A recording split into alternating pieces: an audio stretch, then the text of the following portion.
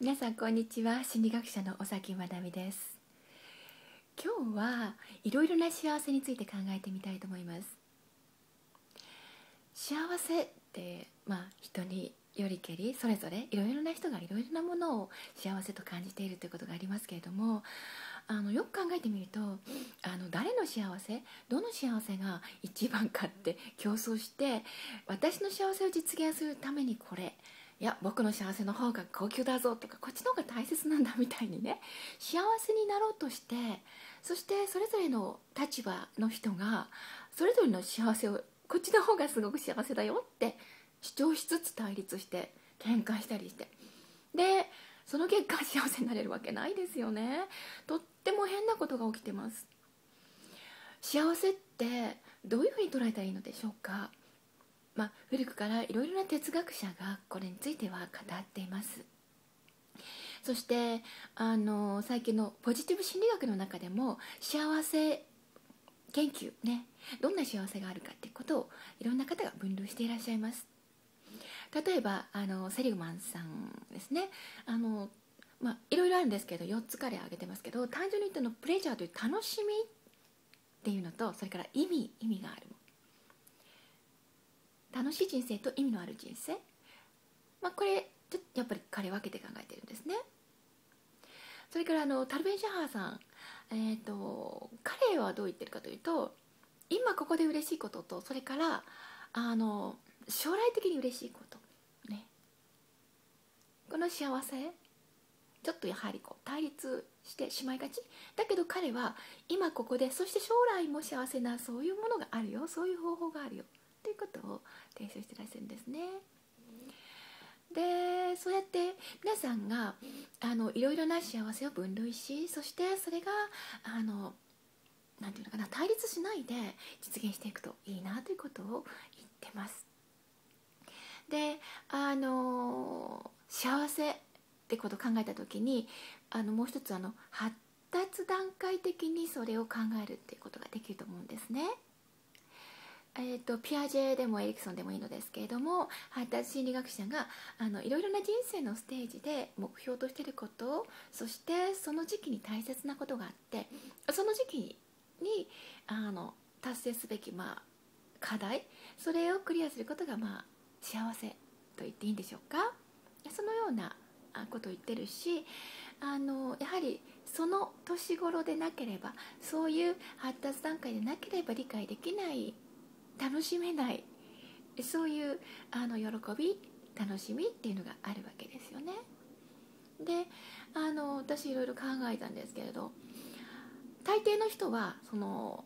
例えば発達段階の下の人たちが喜ぶことなんかこう美味しいお菓子食べて美味しいなとか大好きな人と一緒にいて嬉しいなとか体が気持ちいいね。食べたり寝たり。そういうのはあの、まあ、瞬間的なその場の楽しみであってその人生の深い意味とか目的とかには そんなに何ていうのかしらね考えてないって言いますかね。だからちょっと低級な幸せじゃないかみたいなそんな捉え方をする人もいますね。で実はそのポジティブ心理学幸せ研究という中であの最初はやはりポジティブシンキングポジティブになろうということで皆さんが追求してきたのが例えばですねあのよくあのポップ心理学で応用されてますけれどもこういう考え方をしたら、まあ、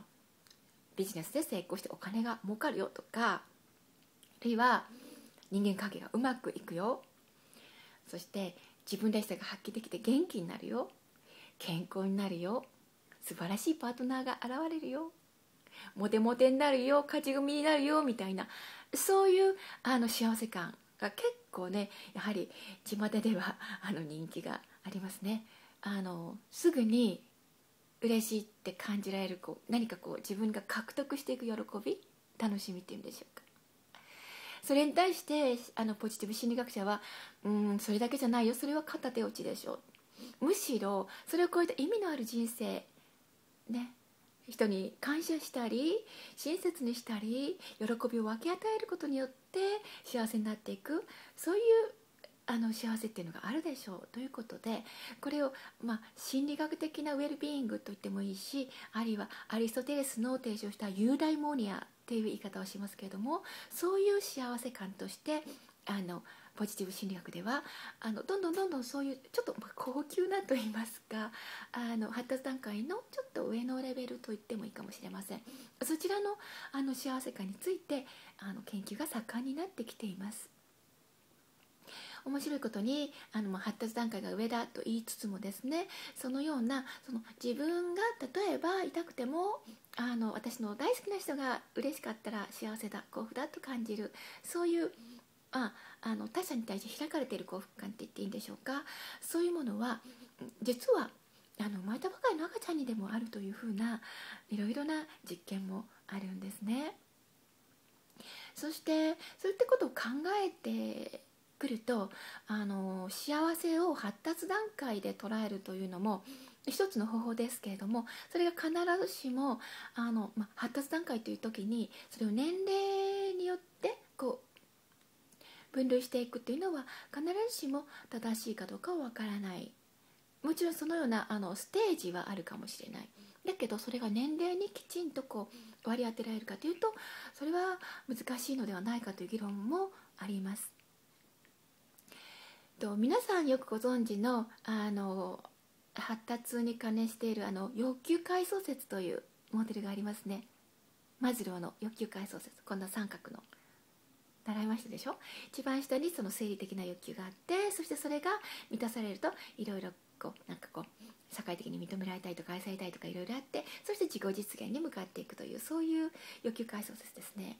で私はその幸せというものをそのマズローの欲求階層説にこう割り当てて幸せの階層説っていうのをちょっと作ってみたんですね。つまりそのそれぞれの段階で満たされる幸せと考えていいと思うんです。それぞれの段階の欲求が満たされる幸せですね。ですから例えば、まあ、生理的なところが満たされるまあ快感幸せっていうのはセリグマンでいうそのプレジャー楽しみ。と言っていいのかもしれない。人に認められる幸せ喜びこれ社会的なものと言っていいのかもしれない。そういうふうなレベルがあると考えるとですね実はあのポジティブ心理学で扱っているのは、まあ、この辺。この辺って図がないから分かんないんですけれども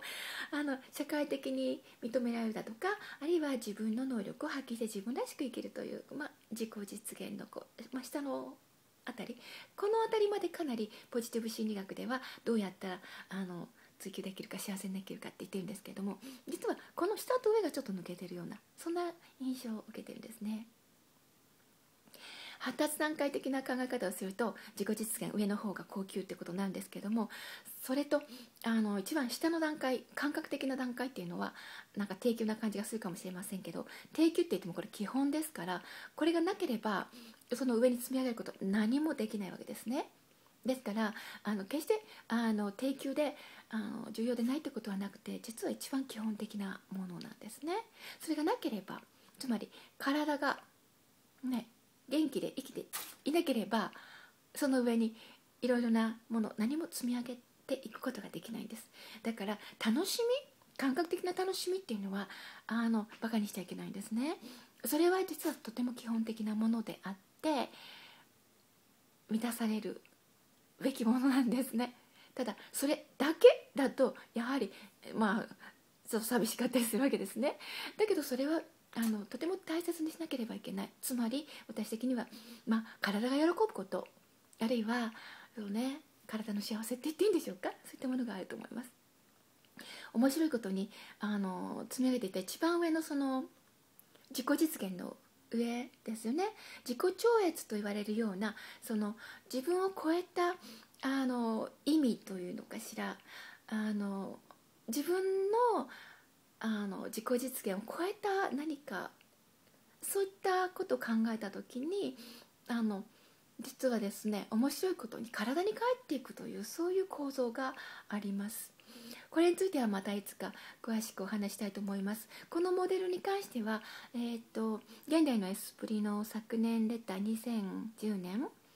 あのポジティブ心理学の発展という本の中に少し書きましたのでよかったら探してみてください。この話もっともっといろいろあるのでまた今度詳しくお話しすることで今日はこの辺でごきげんよう失礼いたします。